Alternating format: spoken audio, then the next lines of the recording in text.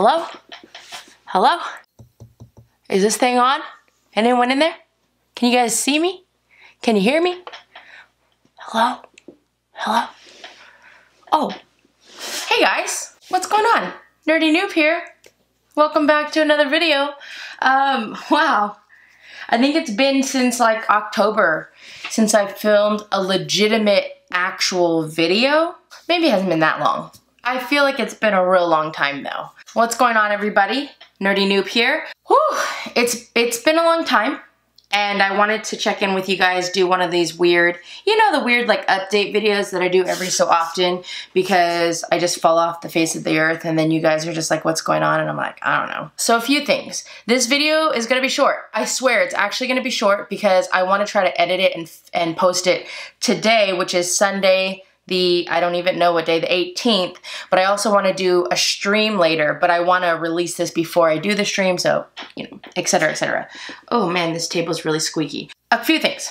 One, I took a break. You know, at the end of last year, I was really caught up in the Funko Pop hype, and it was like really stressful, and I started opening up Pokemon cards and realized like I really enjoy doing that. And so I shifted my channel and then I kind of just shifted it to just being streams because it's so much easier to stream because you don't have to edit videos. And yeah, you know, mixed reactions, of course. I want to say thank you to anyone who's stuck around and stayed subscribed to my channel. I did notice a lot of, I think I lost like 3,000 subscribers during this process, but that's cool.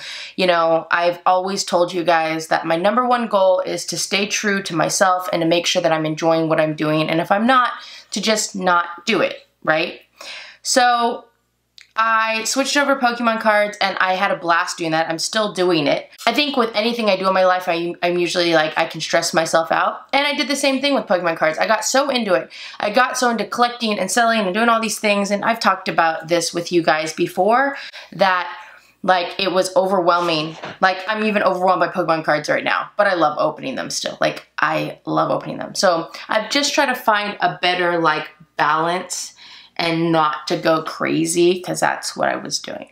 So I'm still working on that and you're still gonna get a lot of Pokemon videos from me. I wanna do more unboxing videos for Pokemon of me getting to open up stuff because I think when I started doing live pack breaks, I stopped kind of, there are times where I stopped opening up packs for myself. Although that's not true. I opened up so many packs during when I was trying to collect the Shining Fates set.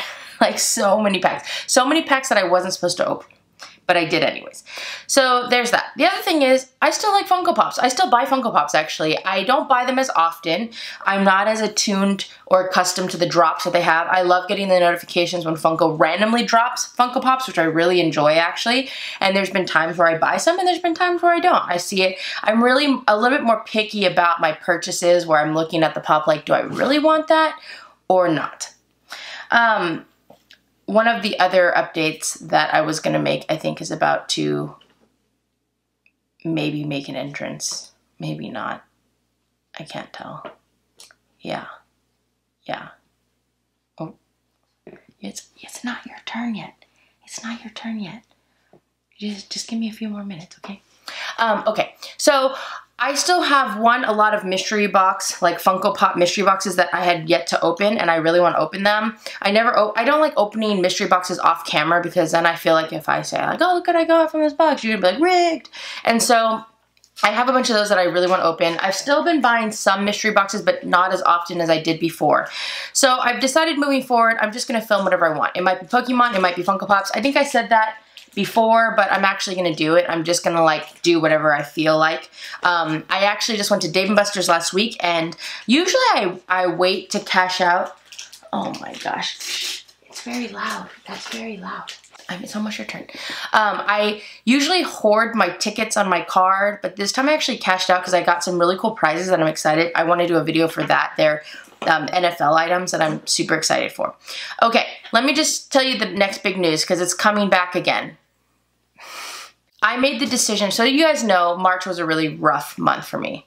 Like really rough. Tess ran away and I lost Cube. And uh, when I say lost Cube, so Tess ran away and she's lost. Cube was hit by a car and I had to put him down. And it was really, really hard, really hard. Just even thinking about it, it's really hard. I did get cubes, ashes. Um, maybe at some point I might, I want to like make a tribute video to him, but I don't know how, if that's going to work out. Um, so I talked to you guys a little bit because I was like, what do I do? You know, the reason why it mattered to me is Mac. Mac was really, really close with Cube. Really, really close with Cube. They were like basically best friends and um, Mac was having a really, really hard time, like really hard time. I was having a hard time, but Mac was having a really hard time. Um, he was waking up every morning crying. I would go to work and I would see my video footage from the downstairs and it would be hours of him not just crying, it was like howl crying. Hey bud, hey bud, hey, don't play with that. Don't play with that. It's almost your turn. Just wait. Um, so I started kind of looking around and I wasn't as serious about it, but Mac just there was something going on with Mac. You just, and I know that they say that cats grieve and you should give them time, but I, as I start going back to work more, I was really concerned about Mac and being alone at home all day long. So I started researching and I'll be honest, it was a really hard process for me because I want to go through an adoption agency. I didn't want to. I actually had some friends who had who knew people who just had kittens and they're like, you can have one. And I and that's how I got Mac. But I really was trying to stay the route of um, adoption. I really liked being able to adopt Tess and Cube and uh, you know, and it just, I don't know, there was something about that I really want to stick with it. Well, I was really insecure careful, be careful. I was really insecure because for adoption agencies, you have to fill out an application, which is fine. But a lot of them, they ask you like, what pets did you have in the past? What happened to them? And stuff. And I was so concerned, like I was just so insecure because within a span of what? It was like a week and a half. I literally lost a cat and I had to put a cat down. And I just was like, they're gonna read that and be like, no, you're not responsible enough. And maybe I'm out, and maybe I'm not. Uh, anyways, ow. So I found an, an agency that was gonna do an adoption event at one of my local PetSmarts And I filled out the application. I remember I filled it out and I was like, I, I had been communicating with them and then I filled out the application. I sent it in late the night before. And that whole night I was nervous. And the whole morning I was like talking to Amy like they're going to decline me. I'm not going to be approved. Because you know they tell you like we're going to have a coordinator look it over and approve you. And I got there and like I was flipping out and they're like, you know, are you here for a pre-event meeting? I was like, no, I don't think so. And then when I told, they're like, did you do an application? I said, yeah. And then they asked me my name. And they're like, oh yeah, we, I saw your application. So you're approved. So you can, and I was like, like literally after weeks of me flipping out and freaking out internally that I wasn't good enough to adopt from these agencies, it was like not a big deal. And everyone told me it wasn't a big deal, but I was just, I'm just like super insecure about it, of course. Anyways, with that being said, let me introduce you to, first, this is Jasper.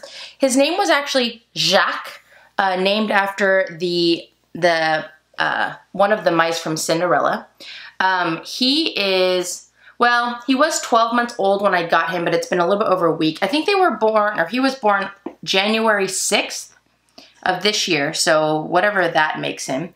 Um, I originally, okay, so when I went to adopt, I wanted to get two I wanted to get two kittens because Mac would not, I knew Mac wasn't going to play with a kitten. So I wanted to get two kittens so they could keep each other entertained. Um, Jack, I actually fell in love with his brother uh, via the pictures and the description. And Jack was the brother of the one that I wanted, and uh, I was a little bit uncertain about him. This is such a bad reason, but because he's a short-haired cat, I've actually never owned a short-haired cat before, and I was like, oh, no, I, think I need a medium-haired cat. Like, I don't know how short-haired cats work. I had this, like, thing about short-haired cats. Like, I swear that when they, when their fur came out or whatever, that it pricks you. I don't think that's true. Anyways, uh, so Jasper, I changed his name to Jasper. His middle name is still Jacques, so he's Jasper Jacques. Jacques. Jasper Jacques. It's like not Jack. I was calling him Jack. The reason I changed his name is because I called him Jack, and I think Jack and Mac, I think Mac was getting confused when I was trying to talk to Jack, and so I was like, oh, uh, I'll just change his name to Jasper. I just started calling him Jasper one day, and so I was like, I'm gonna change your name to Jasper, with the hopes that when he gets older, I can call him JJ. Because I think that'd be cool. Anyway, so this is Jasper. Um, he is the rambunctious one of the two. He loves to play, but actually, they said that he just loves to play and kind of cuddle on his own time. But he actually is a cuddler when he's tired. So when he's not super playful, he actually loves cuddling. He's purring right now. I don't know if you can hear him. I have no idea if you can hear that. But um, this guy, he wasn't supposed to be the cuddle bug. And for the first week, I would wake up in the middle of the night and he would literally be sleeping on my neck, which I'm not used to. But he's fun. He's a little bit weird. Uh, I, I always like measure cats by how they react to Mac and how Mac reacts. Mac doesn't like anything because he's scared of everything. So Jasper's actually kind of a scaredy cat like Mac. It's kind of weird, except the one thing he's not scared of is Mac, which is very interesting. It really creates an interesting dynamic because Jasper is like a mixture of Cube and Tess where Jasper wants to go play with Mac and Mac does not want to play with him. So Mac all of Mac's hissing has been basically towards Jasper because Jasper also like runs at Mac and Mac doesn't like that because Mac is a scaredy cat as well. But then Jasper also, when he's not running at Mac, also tries to just be around Max, like on the cat tree, Mac will be on the top and Jasper will be like laying on the, the level right below him. And so he like tries to be around Mac and tries to kind of play with him and Mac just doesn't like it. So, you know, I think that that's how Cube kind of was. Cube was like really, I don't know, Tess liked to run at Mac and Mac didn't like Tess as much. Cube didn't run at Mac, but Cube was always trying to be around Mac and they became really close. So I'm not quite sure what will end up happening with these two, but the fact that he's not scared of Mac is nice. Um, I think that's kind of what's needed because Mac is scared of everything, right? Even these little kittens, Mac is like super scared. Um, I kept them separated. They stayed in my bathroom during the day when I first got them, and then I put them in my shipping room. Um, and they stayed there for the rest of the day and the, the night and the next day. And then the kids were over, and of course they wanted to be in that room, and eventually I just let them out of the room, and they've been out ever since. And yeah, it's been going really well. They all eat together. Uh, that's one of our newer things. That's exciting. So yeah, He's got a big giant black spot on his head and this little mark on his eye that looks like I don't know. Every time I see him, I think he like has something on his face, but it's just him. Um, he's gonna be, I think he's gonna be a pretty big fella. Not fat, but very like, I think muscular. I don't know. He's very long. He's kind of like, Cube was like that too, where he's got big legs and he's very long. Um, I, my favorite, one of my favorite parts is distinction is he's got a white tip on his tail. Him and his brother don't look exactly alike, but sometimes in the dark they look similar, so I always have to look at the tail. Okay, so this is Jasper. I can't tell if he wants to hang out or if he's sitting in my lap now. But let me show you, let me introduce you to his brother. All right, everybody. Meet Gus. I did not change Gus's name. Uh, this is little Gus, so this is Jasper's brother. I think he might have been the runt of his litter because he's like little. He's like really small compared to his brother. Um, this guy is a cuddle bug and he's quiet. He plays with Jasper a lot, but he's also very quiet and shy. He's not scared of anything though. Like, he'll just sit there. He'll like sit there when people walk in, he just kind of stares at them. So he's not afraid, but he's just, I don't know, he's very cuddly. He can literally fall fall asleep in anybody's lap or anything. Um, the thing about both of these cats is when I got them, they were just recovering from an up, upper respiratory infection, which I didn't know anything about. Um, Gus is actually still fighting it a little bit. Uh, they, they only have had their first round of shots, so they need two more rounds. And unfortunately, because they came from a foster home that had a lot of cats, it sounds like there was somewhat of a kind of a URI outbreak there. So when I got both of them, they had finished all of their antibiotics, and he was okay. His eye is a little bit wonky. I can't tell if it's from the URI or if he just has a lazy eye. Um, but if you listen closely, he's really congested. Um, I called the adoption center. I, I, brought him back in, and they gave him sh another shot of antibiotics uh, on Friday. But he's still, it's pretty bad. Um, he has a hard time breathing, so he's really tired a lot because he can. It's hard for him. I can see that he's like, you know, when you have a stuffy nose, it's like harder to breathe. So he's been resting. Um, we're gonna try to get him another type of antibiotic. I forgot what it's called. They're working on that for me. Um, so that hopefully it'll help everything clear up with him. I didn't realize this, if you guys didn't know, URIs, apparently when cats get them, they're like cold sores for humans. Like, once they get them, they always have it, and it can always come out, especially when they're stressed. So it'll be something that him and his brother will kind of be dealing with probably for the rest of their life. Um, I don't think Mac has ever had an upper respiratory infection, but I don't really know. Uh, again, I didn't know anything about that until now. So um, Gus is, I think his hair is going to be a little bit more like longer than Jasper. He's going to be more of a, I'm not going to say medium haired. I think it's going to be short to medium. So it's definitely longer than Jasper's, but not uh, as long as Mac's. Uh, he actually looks like a mini Mac. If his hair was longer, he'd look exactly like a mini Mac. He's got the gray, he's gray with white front paws, which Mac has. His back legs are white, which Mac has. Um, and yeah, so he's very similar, which is kind of fun. He does have raccoon eyes. If you look at his eyes, he's got these like black designs under his eyes, which make him look a little bit raccoony.